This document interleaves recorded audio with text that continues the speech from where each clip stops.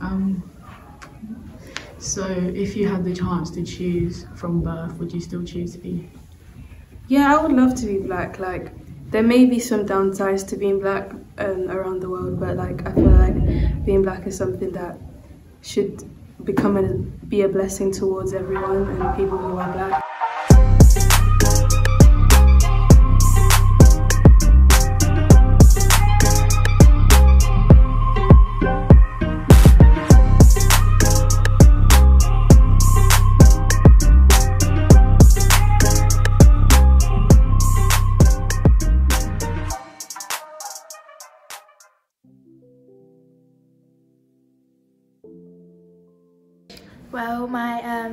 Ghanaian and um, my parents come from there, and my grandparents come from there. Uh, my dad is Asian. My dad's half Jamaican. Yeah, Sierra Leone. It's like, yeah, Sierra Leone, yeah. I'm from Sierra Leone as well. I'm half Ethiopian and half Jamaican. Uh, my dad is from Namibia in Af South Africa. I'm South African and English. Gambian and English. My parents are from Iraq. So both of my parents are from Africa. Well, my dad's from Ethiopia. My dad's from Cameroon. My parents are from uh, Zimbabwe in Africa, in South Africa. Um, well, my dad is, um, he's from here, but he's mixed race. My dad's half Bajan, half Jamaican. Um, from West Africa, a country called Gambia. Both my parents are from there. Um, most of my family are Ghanaian. Um, my mom's Ghanaian and um, my dad's Brit- British.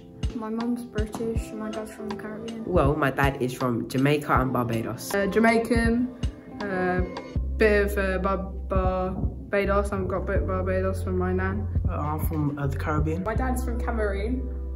My mum is from Zimbabwe.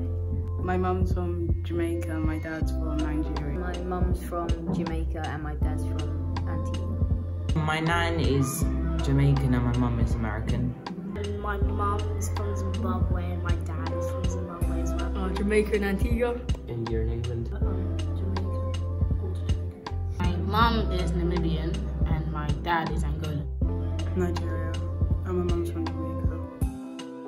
Um, I felt like there was the school was not doing enough about Black History Month, and I wanted to stand up and say something about the school because from my like two years of three, two, three years of being here, the school hasn't done anything for any of the months I've been here.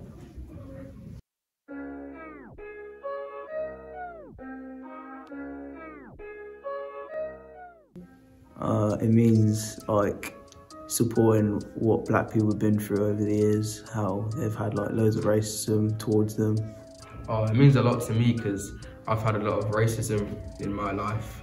So yeah, it's just powerful and it means a lot. Like, we do celebrate it in our family, but we normally will like, have like some little get together in our family. We've been oppressed for years, so um, it's nice to have like a month where we can like have remembrance, if you know what I mean, like for all the people that died due to slavery. It means a lot because um, as I'm black as well, um, it's sad how most black people are getting killed for no reason.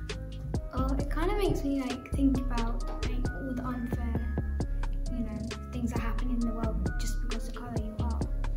Um, it means a lot, like, and I think it should be talked about more and not brushed under the table. I think of it as like a good time to um, talk about black people and what they've done because they haven't always been treated fairly. If like it's not all just being ignored and it shows that it's like got a like meaning to it and I think it means a lot to my dad as well so I like seeing him like do stuff for that month. You find out more about your cultures and stuff. Like how they were slaves, like and treated like objects and stuff like that, like being sold to people. Well, it's really important because it shows what like the past was for black people, and um, yeah, it's just really important. Uh, I think it's really important for people to know what black people have been through in the past. I think people should be more educated about it in general There's not a lot of people know. Well, like when you go as your black culture, you go and celebrate, like, and the all come together as your like black history. Um, it means like about celebrating the black culture and things like that. We get to celebrate our culture and everything that we've done and everything that we've been through. Um, where black lives can actually matter. It's good because people are now like stepping up and speaking out from their past. Something to be proud of. Yeah. And it's about like praising them and like getting to know things that we didn't know before. Do you think Black History Month is important? Yeah, very, because it like makes people realise that black people are there.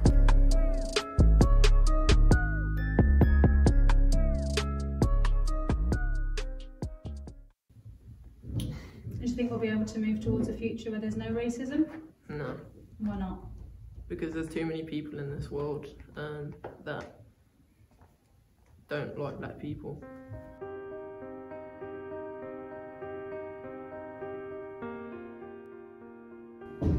like talk about because certain people don't see like the racism as like racism if you know what i mean like i don't know i feel like there's a lot of racist like undertones in what people say but like they don't know that they're being racist like just maybe do more like awareness about it. Yeah. Do a bit more things like i guess have more assemblies or things or like more posters or talk about it a bit more rather than just like in history about slavery. Maybe talk about positive things that have happened. Stop it and make um, basically make the school a better place if they didn't have it because it'll make black students feel better about themselves.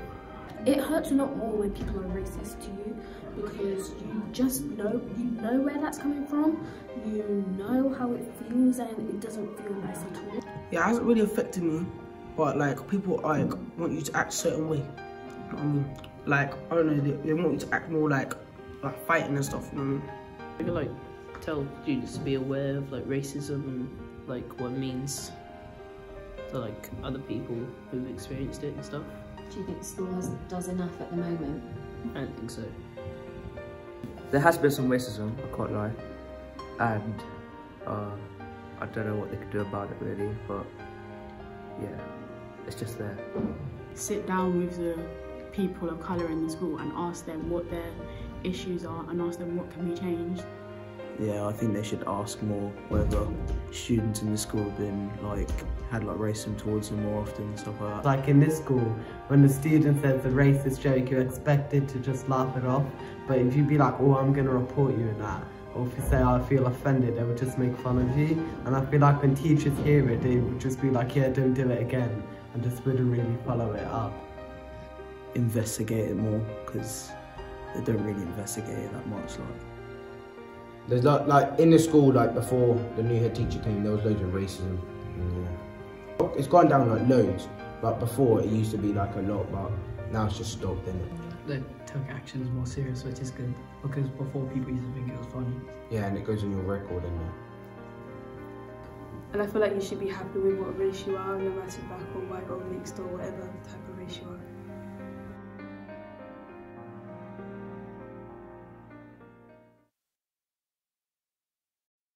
You said about a little bit about there's been a little bit of racism and things. Can you think of any examples? Um, it was a long time ago. Yeah, I can, but yeah, I can think of examples. You don't want to talk about it. Oh no, no, it's fine. You can if you want to. No, it's good. No.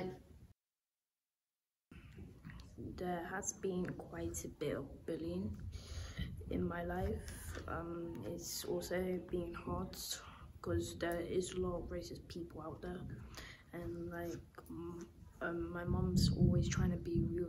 I'm really strong to like get get us through this. Yeah. What kinds of things do you feel like you have to be aware of? Um, like people going up to you and being racist towards you.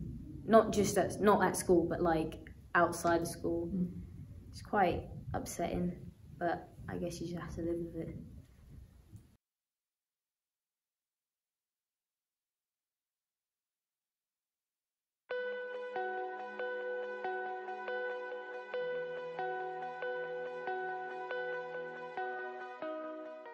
Stormzy, Dave, uh, because they write about racism and yeah. Raheem Sterling has done a lot for um, black people. Yeah, he hasn't let people being racist to him um, make him quit football like it, it has to some other people. Nelson Mandela, because he really stood up for black people in when there was racism happening back then. I think definitely Martin Luther King with I Have a Dream speech. Yeah. He proved you can do a lot of things with just peace. He stood up when no one else would. The way he stood up against racism was smart. He used words instead of physical fighting. The main one's Rosa Parks because she didn't really let anyone push her about when she was on the bus and she stood for herself and stood for her rights. She's just, yeah, she's my kind of like hero. Because she like stood out and like um, she like represented what black's all about.